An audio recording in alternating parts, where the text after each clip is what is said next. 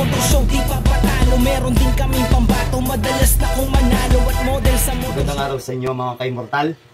Ipapakita ko lang sa inyo kung ano-ano ang mga piyesa ang gagamitin natin para sa ating gagawing BMX cab. Ito yung gagamitin nating head 4 valve para mas malakas. Ito 65mm bore.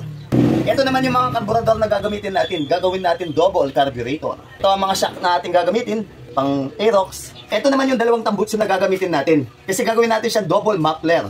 Ito yung mga gulong na gagamitin natin, dual sport tire. Kasi yung mayari nito, dating motocross rider, kaya ito ang gusto niya. Para makapit kahit nasa lupa o sa may putik man. At hindi putpurin pagdating sa highway. Tapos matataba rin ito para hindi masyadong makaldag pagdating sa mga off-road or humps. Ang kulay ng chassis na gagawin natin ay kulay carbon. Carbon Lodi. Haluan na rin natin ng mga tie parts para sa ating mga audience. Pagsasamahin natin yung tie concept, pati na BMX cab. Kaya abang-abang lang po kayo dyan mga ka-immortal. Ang lahat po ng ito ay ginagawa ko kasi dahil request po ito ng mga nagpapagawa. Pinakikinggan ko lang po sila at ako po ay gumagawa lamang. At sabi po niya sa akin, ang BMX cab na ito ay pang subdivision lang po niya or pang barangay roads po.